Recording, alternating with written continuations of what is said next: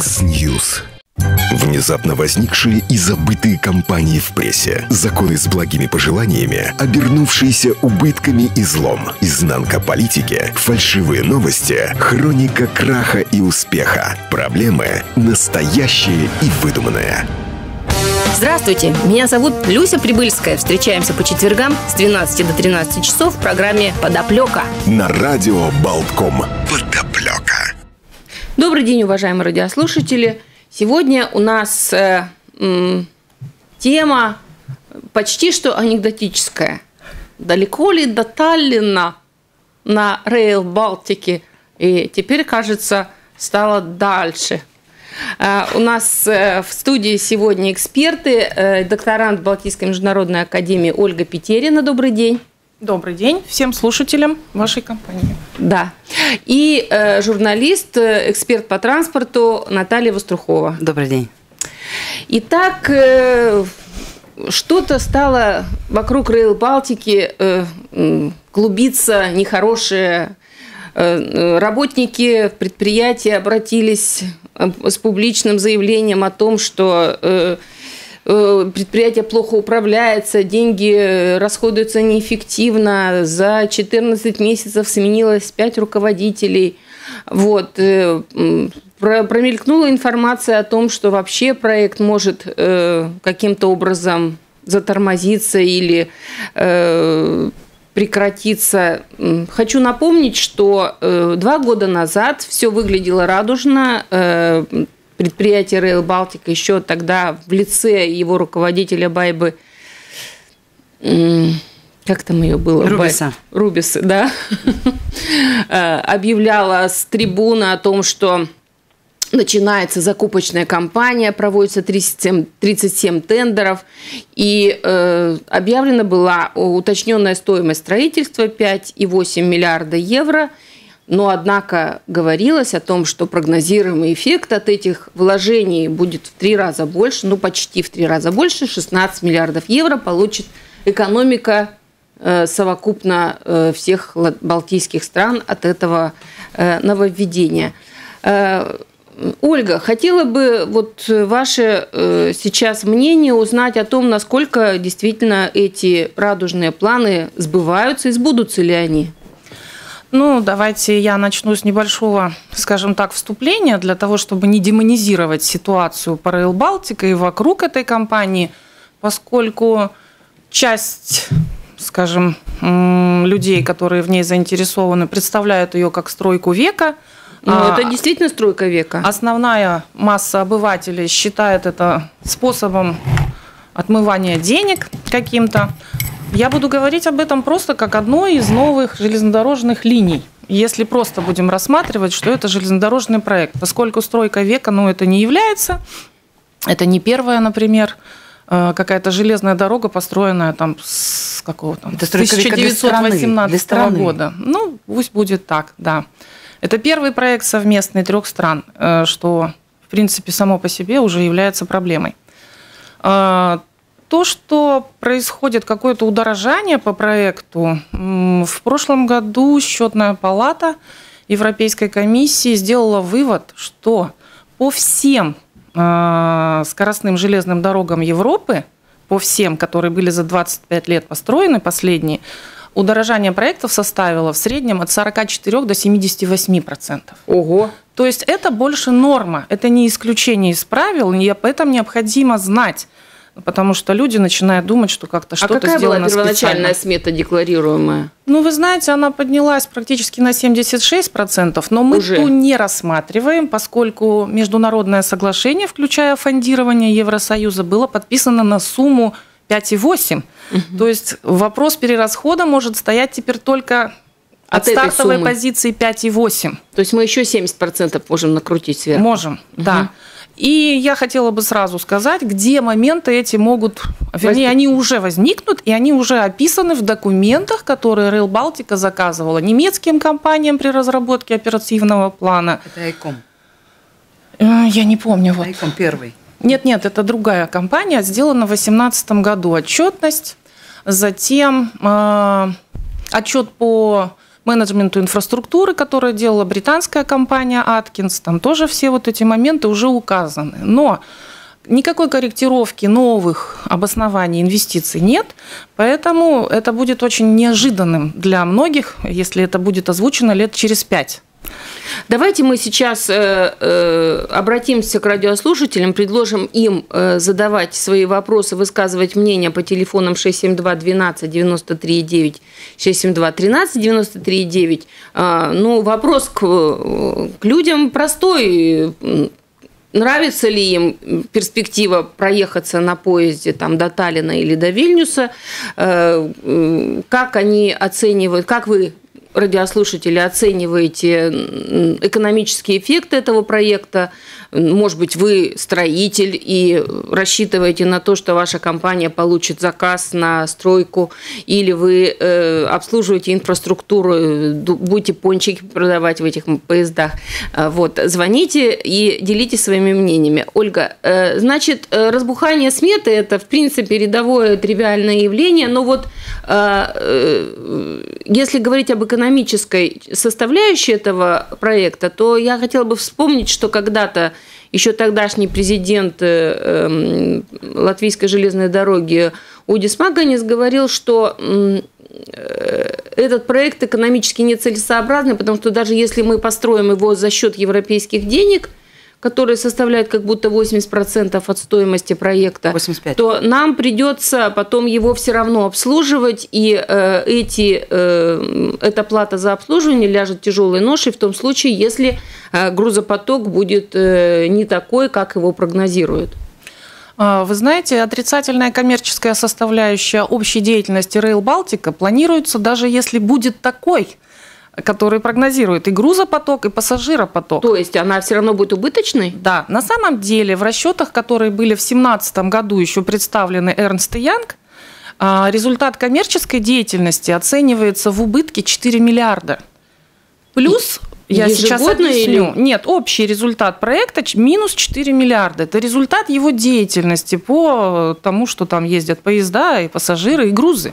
Ну, То есть какой-то период эти 4 миллиарда? За весь проект. Вот была а. рассчитана стоимость за весь проект. Положительный результат получился, скажем так, за счет некоторого лукавства.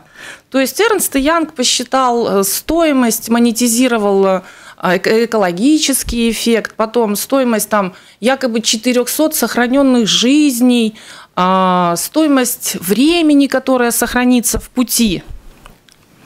Вот за счет этого получился положительный эффект. Вот 8... эти 16 миллиардов набежало за 400 Ну, 16 жизней. миллиардов, это, вы знаете, это они сказали, это общий положительный эффект и не дисконтированный. Когда они его дисконтировали, получилось всего 800 миллионов. Вот э, вся фишка в работе Эрнста Янг была заключается в том, что они манипулируют формулировками. То есть где-то они используют количество поездок, где-то они используют ту терминологию, которая реально используется в железнодорожном транспорте. То есть работа там измеряется пассажира километра и тонна километр. Где-то они э, скажем так, фигурируют словом пассажиры. И когда изменяются все три понимания, да, то есть человек в конце концов ну, не должен понять, что в итоге стоит. Хорошо, Ольга, вот вы упомянули такой термин дисконтирование. Дисконт в переводе на русский язык – это скидка – но слушайте, если мы говорим о 16 э, миллиардах экономического эффекта, а при дисконтировании э, получается 800 миллионов, это выходит, что мы 95% дисконт делаем. Это распродажа какая-то? Нет, дисконтирование в данном случае это приведение стоимости денег, например, 53 года к стоимости денег 2016 года, то есть моменту расчета – технико-экономического обоснования тем суммам, которые инвестируются в 2016, например, году. То есть вот сравнить 5,8 в 16 и 16 миллиардов в 53 вот получается такая разница. А, то есть эти 16 миллиардов накопятся к 53-му. Yes, это за весь э, период, так сказать, Жаль, проекта. что узнать это время прекрасное уж не придется ни мне, ни тебе, говорил поэт это, Некрасов. Это да. Вот, поэтому, но дело в том, что в этих затратах не включены приобретение подвижного состава, выкуп земли, который будет осуществляться за счет государственных средств. ну, как говорится, что подвижной состав будут приобретать якобы операторы, которые зайдут на рынок, но мы прекрасно понимаем, что никакие операторы не будут заходить в убыточный проект. И, естественно, Министерству транспорта всех трех стран придется обеспечивать хотя бы первоначальную работу проекта за свой собственный счет.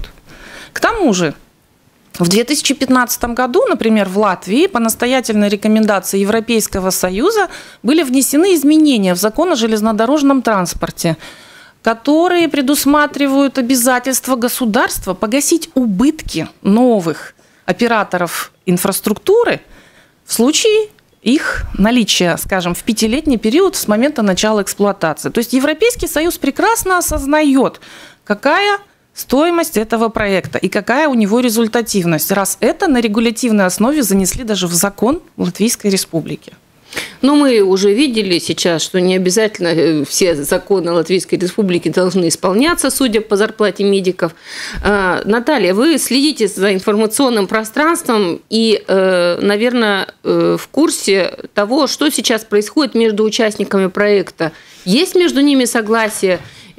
Особенно в плане того, что ну, вот даже в расчетах Эрнст и Янг расчет грузовой базы велся в, с ориентированием на Финляндию. То есть считалось, что почему-то с какого-то перепугу Финляндия повезет свои грузы именно по Рейл Балтика, а не будет грузить их на пароходы, что для нее, в общем-то, было всегда естественно. Ну или отправлять, если это Россия, то по железной дороге своим путем. Тут знаете, что любопытно, что финны-то уже отказываются от этого, потому что они а, говорят о экономической выгоде. Если она есть, мы поедем. Если нет, мы не поедем. Ее пока никто не может предоставить а, а, фактурно. И э, по сути-то, вот я смотрю данные первые, да, на этом потоке э, север-юг коридор, который планировалось строить э, к 2020 году, который вот сейчас вот уже на носу, миллионов тонн перевозилось бы от 6 до 9. Сейчас никто этого даже не скажет. Если, это, если этот тоннаж на этом маршруте в целом, его никто не покажет. Да? А к 2040-му планируется довести а, до 15 миллионов тонн. Ну, для чего? сравнения, сути, основной коридор латвийской железной дороги, э, который э, это запад-восток, он сегодня перевозит около 50 миллионов тонн, да? Но это транзит, да, это транзит российский, он падает уже, э, очевидно это, что снижаться он будет продолжать. Ну, то есть Rail Балтика в итоге выходит на дорожную сеть э, Европы и пред, на Виа Балтику и предполагается, что нет, э, он, а нет, Rail Балтика идет параллельно Виа Балтике э, автомобильной дороги, но сама Rail Балтика, она потом пристыковывается, ну, к польским железным дорогам она потом пристыковывается к польским железным дорогам. Пока, пока еще ничего не известно. Но знаешь, что любопытно? Любопытно, что когда рассчитывались а, данные, одни из первых, а, смотрели на грузы, которые нужно перенести согласно Белой книге, да, с учетом экологии, а, с, перенести грузы с Виа Балтики. То есть взяли эти 30% с автотранспорта, с автотранспорта на железку, да, на железную дорогу и на море. Но только они не учли, нам не, точнее, не рассказывают о том, что часть останется э, примерно э, большая на литовско-польской границе грузов, часть останется э, в Латвии. Что доедет до Таллина от этих 30%, которые они взяли, посчитали и перенесли? Что? Мы не знаем. На самом деле, даже в инвестиционном обосновании Эрнст Янг там четко прописана загрузка поездов посекционно.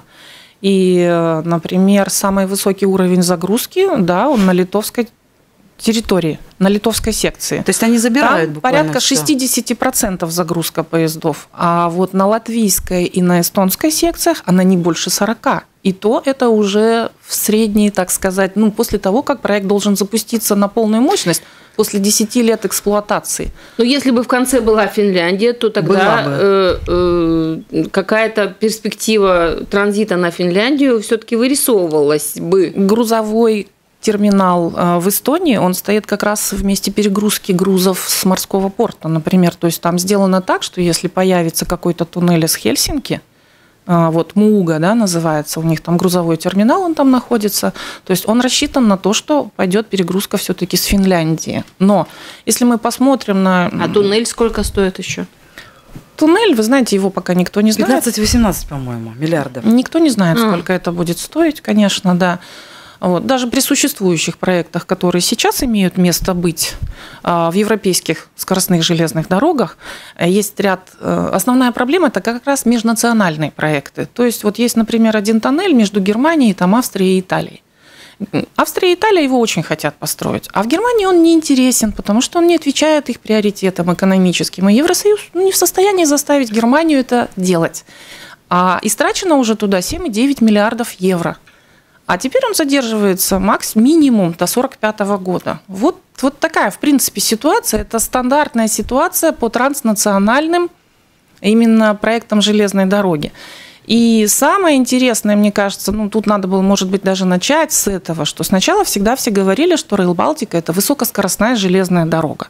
В итоге если э, мы посмотрим документы, межгосударственное соглашение, она там определена как традиционная железная дорога со скоростью не выше 240 км в час. А в фактически 170 не будет, да? Нет, да, да. да, то есть по расчетам Эрнст Янт, вот которыми они, так сказать, лукаво ну, увеличили прибыль Рейл Балтики социально-экономическую, если посмотреть сегодняшние документы, уже расчеты немецких компаний за 2018 год, то скорость грузовых поездов доходит в итоге до 70 км в час. Скорость между Ригой и Рижским аэропортом не будет выше 110 а в среднем на трассе это может быть ну, значительно как бы в разных местах ниже. Это То тот есть, самый operation план? Да, оперативный план, который разработан немецкой компанией в 2018 году, он значительно снизил вообще все параметры. Так, да. Просто чем дальше в лес, тем толще партизаны. Сейчас мы прервемся на небольшую рекламную паузу. Уважаемые радиослушатели, ждем ваших звонков и комментариев по проекту Rail Балтика, э, который э, декларировался как скоростной, а теперь получается вроде уже и не скоростным. Э, по телефонам 672 12 93 9, 672 13 93 9 вы как раз успеете дозвониться, пока у нас идет реклама. Не переключайтесь. Mix News. Еще раз э, добрый день, уважаемые радиослушатели. Мы сегодня расследуем историю с Rail Балтикой. И э, в первой части программы наш эксперт Ольга Петерина, докторант э, Балтийской международной академии, которая пишет диссертацию о Rail Baltica, нам э, рассказала страшное. Оказывается, это будет не скоростная железная дорога. И э, те 5, э, ну почти 6 миллиардов евро, которые на нее предусмотрены, могут разбухнуть еще на 70%. Ну, в принципе, наверное, это неплохо, это же все заработают. Ну, и даже служба госдоходов нет, служба госдоходов Латвии, мне кажется, она выбрала очень оптимальный способ внести вклад латвийского бюджета, э, вот эти необходимые 15%, так сказать, доля Латвии, э, финансирование проекта. Очень, очень оригинальный способ. Рейл Балтика, поскольку она значит, рассчитывается сейчас какими-то поставщиками, там у нее есть предоплатный НДС – вот в 2018 году они заплатили предоплатный НДС, но разницу им вот это вот предоплатный НДС им СГД не вернула. На основании том, что у них нет никакой сейчас деятельности, и они не являются плательщиками НДС. Таким образом, латвийское правительство может прекрасно с самой Рейл Балтики собрать весь НДС и внести его потом в качестве своей лепты финансирования проекта. О, как здорово. Это просто... Это инновационный просто подход да, к да, финансированию. Да. Рейл Балтика обращалась с апелляцией в СГД. Вот сейчас они вроде как хотят даже суд подавать. Но им СГД обоснованно ответила, у вас пока нет никакой деятельности реализации с НДС. Ну, может, он им посоветовать магнитики на холодильник холодильник с видом Рейл Балтики подавать, чтобы им возвращали НДС, что-то а, такое. Что они что-то делают. Да, а еще же более страшное предстоит. Вы представляете, у них накапливаются сейчас убытки в связи с тем, что они тратят деньги, да, вот проектирование, строительные работы, все это минусуется.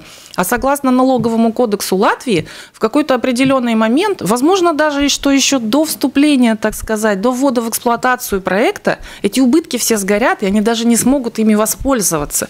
То есть, в смысле, э, убытки можно погашать в течение трех лет? Э, ну, там вот сейчас... этого имеете в виду? Да, да, да, да, да. То есть сейчас они накопятся, и они сгорят.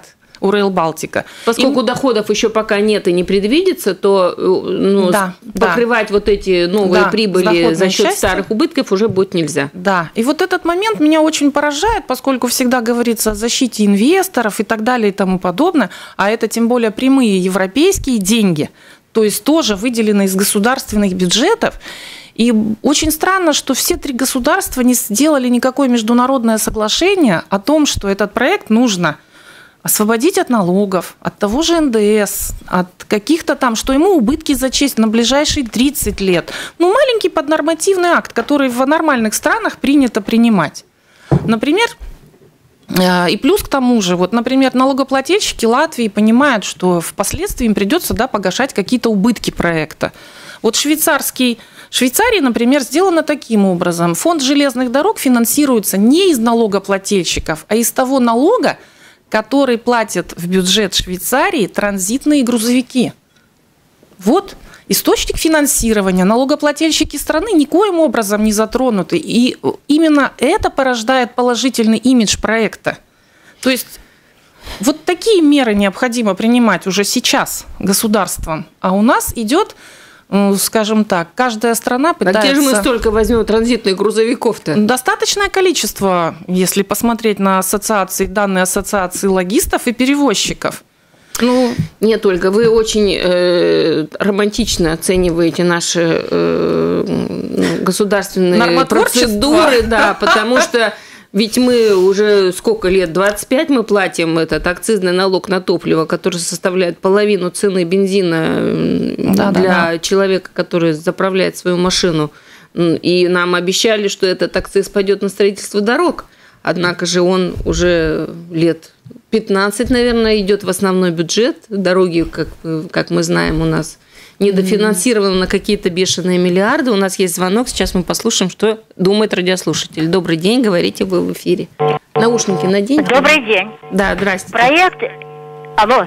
Да, Проект... да, слушаем э, вас. Э, да, проект Рей Балтик железной дороги в основном задуман и обязывает Евросоюз строить железную дорогу, причем узкой колеи для транспортировки Минобороны военного вооружения, который принесет огромный ущерб экологии Латвии. И возникает вопрос, каким образом будет происходить в будущем пассажирские и грузовые перевозки, так как сегодняшнее сообщение происходит по широкой колеи 1524 мм километра.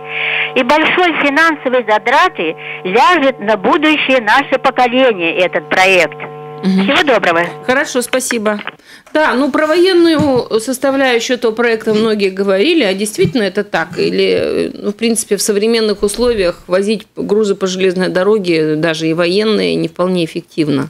Ну, на данный момент, например, сейчас э, идут же грузы НАТО по колее 1520, например, до Казахстана, оттуда снабжается афганистанский контингент. То есть это нормальная практика, в принципе. Но не надо заострять, а то, что там кто-то боится, что техника сюда придет там для войны, еще что-то, ну, нужно вспомнить любые там годы Великой Отечественной и Второй мировой, что железные дороги легко взрываются, в принципе, любые мосты, и никто никуда не пойдет. Все просто.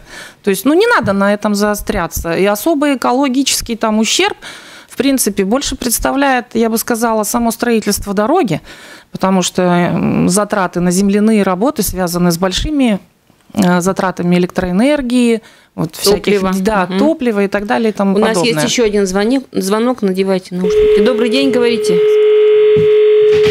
А.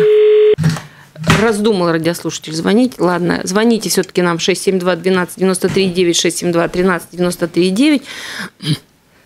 Значит, э, э, вернемся к нашей, э, нашей теме.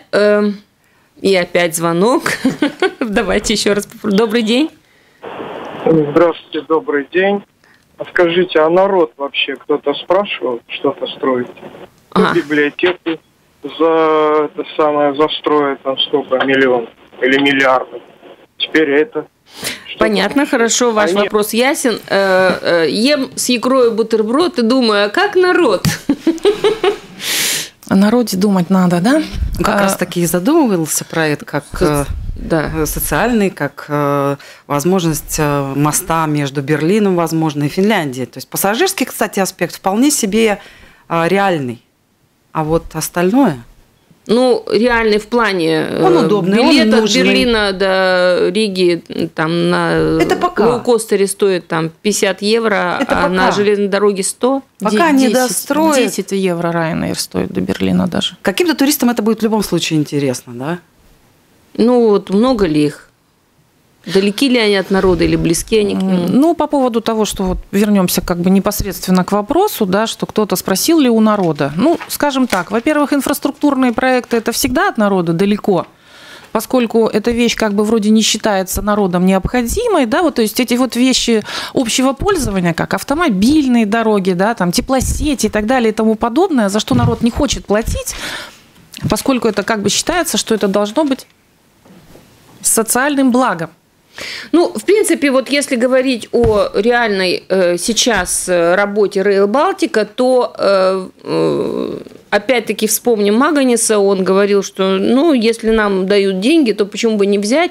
И первым делом надо построить э, электрич... ну, поезд до аэропорта и сделать, перестроить, модернизировать наш железнодорожный вокзал. В принципе, первый этап этой стройки вот это как раз и предусматривает. Ну, и это, наверное, реальный будет эффект для э, рижан, для э, Латвии. Как вы думаете? Я думаю, что это, ну, скажем так, взгляд может быть со стороны так показаться. А, есть уже опыт по тем же европейским железным дорогам. Например, один участок между Испанией и Францией. Его построили – но 22 месяца он не был введен в эксплуатацию, поскольку его не подключали к тем сторонам сети. Здесь может быть точно такое же. То есть э, держатели Rail Baltica не дадут разрешения подключить вот эту ветку э, на Рижском вокзале. Почему? Ну, потому что она же должна будет к чему-то подойти.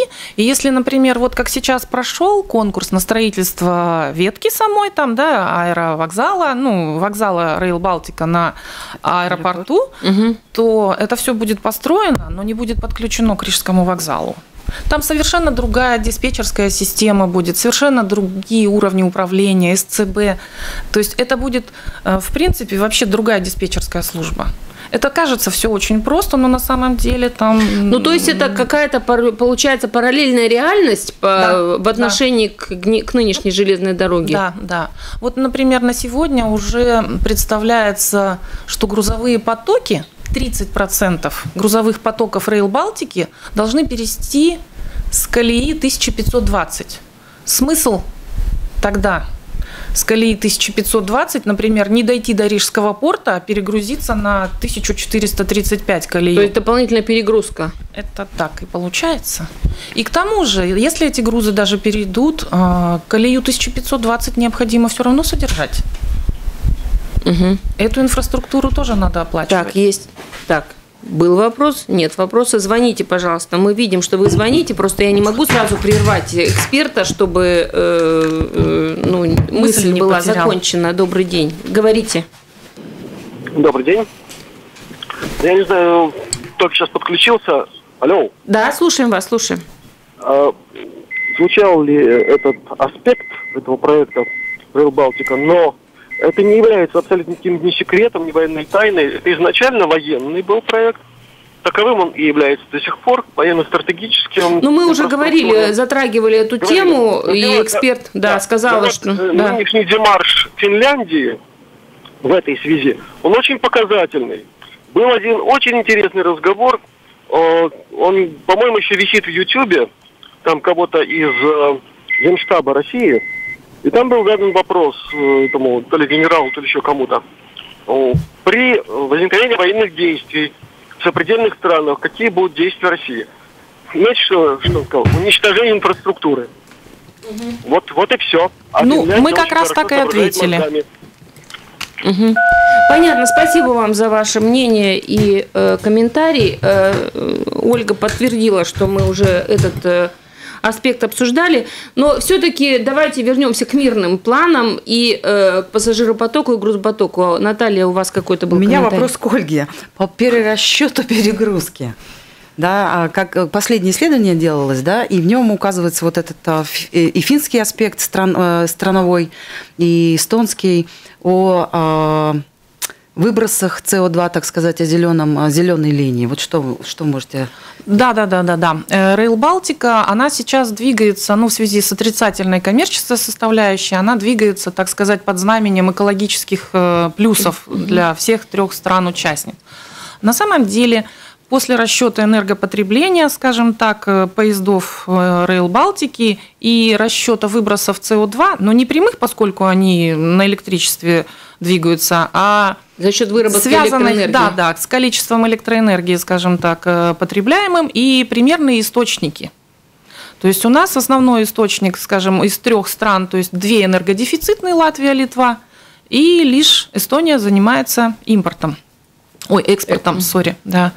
Ну, она э, вырабатывает электричество на сланцах. Вот, на у нее очень высокий коэффициент страновой экологический. И если рассчитывать выбросы СО2 непрямые по эстонской ветке, Рейл Балтики, то они получаются выше на 30%, чем выбросы существующие грузовиков, двигающихся по Виа Балтике. И это причем необходимо учесть, что грузовики имеют э, тенденцию меняться, ну, скажем, да, они же амортизируются намного быстрее, чем подвижной состав железной дороги. И совершенно предполагается, с учетом всех европейских программ, что к 2030 году основная часть грузовиков будет э, в два раза выбросы еще уменьшены. И тут вот ситуация экологическая... На перейдут грузовики. Ситуация с Rail Балтика, она достаточно неоднозначна в экологическом плане. Так, у нас есть еще один звонок. Добрый день, говорите.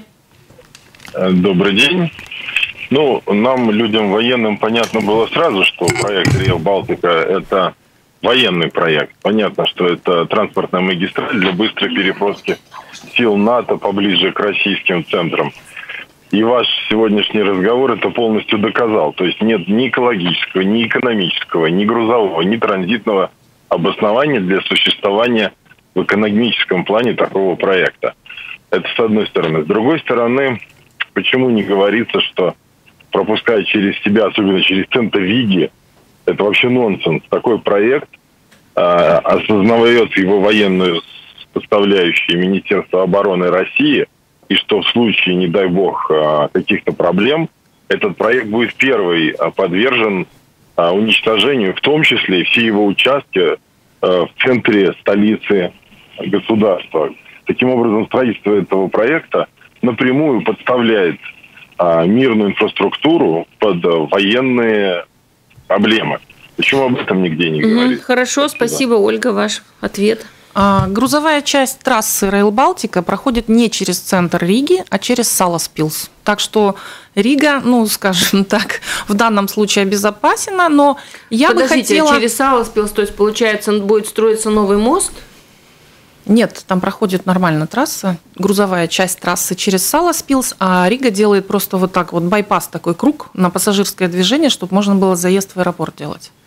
Все равно непонятно, как можно попасть не через мост э, к Саласпилсу. Ну, По через... набережской ГЭС, что ли? Да.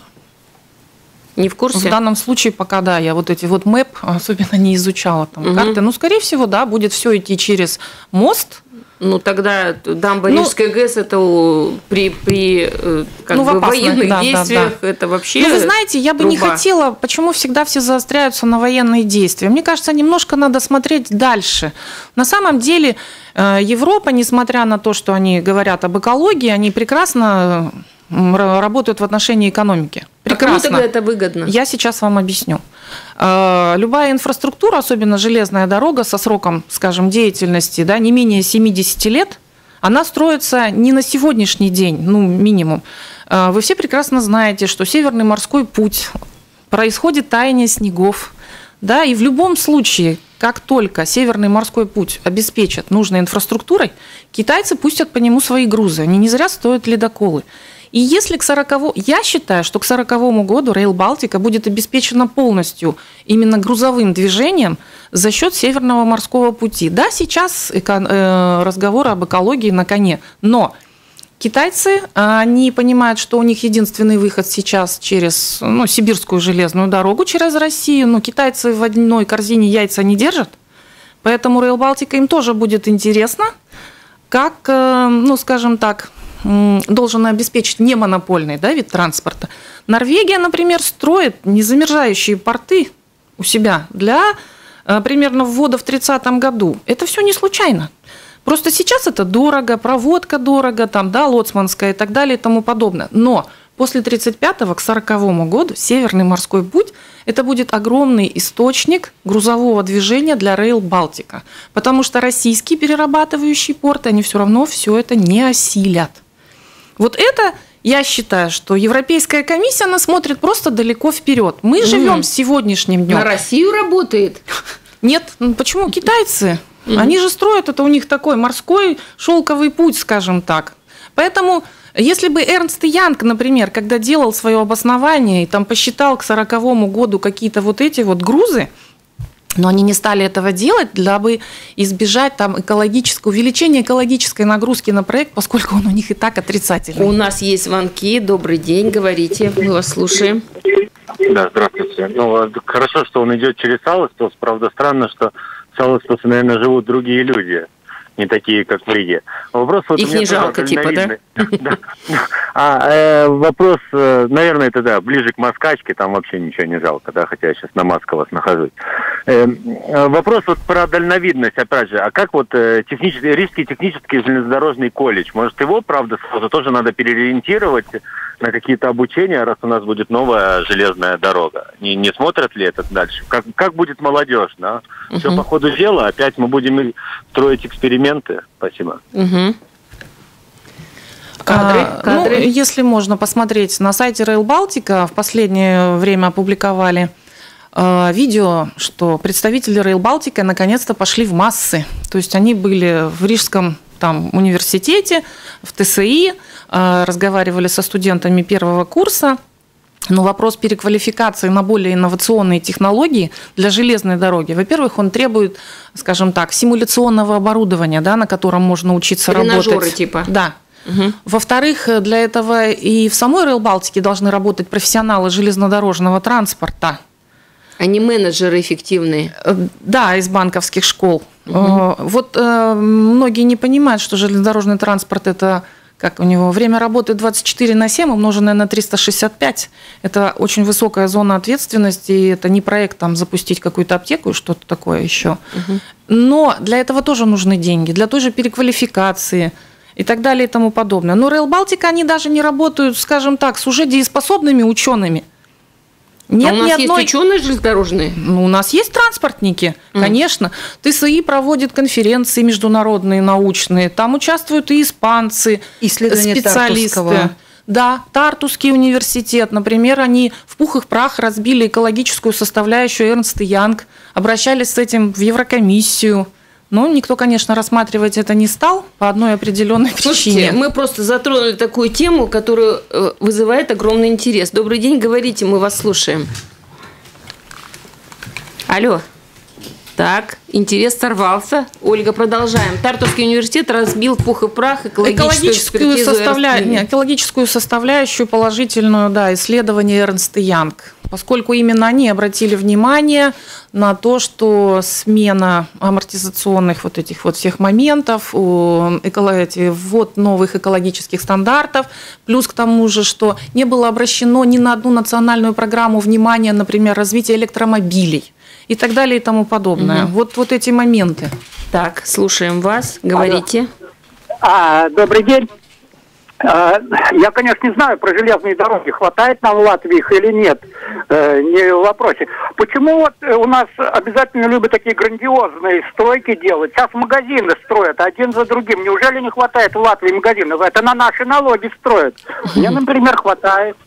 Вот. Хорошо, спасибо. Э, ну, э, грандиозные инфраструктурные проекты вообще, ну, с моей точки зрения, это благо, потому что они э, создают новые центры генерации производства и так далее. То есть, в принципе, даже само то, что такой большой проект будет строиться, даст работу многим тысячам людей. Вот мне кажется, даже э, эти э, Эрнст и Янг на своей презентации говорили, что на стадии строительства будет создано 13 тысяч рабочих мест в строительстве, еще 24 в смежных отраслях.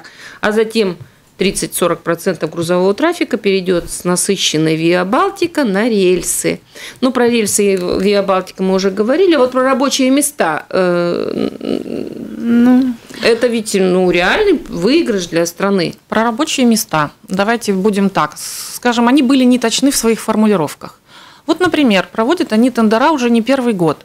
Их же не выигрывают новые компании с новыми созданными рабочими местами. Мне кажется, было бы для них правильнее говорить, что они поддержат, а, поддержат вот столько-то рабочих Занятых. мест. Угу. Да, поскольку выигрывают тендера уже состоявшиеся компании, и причем это компании стран, в которых уже есть развитая сеть железных дорог именно высокоскоростных.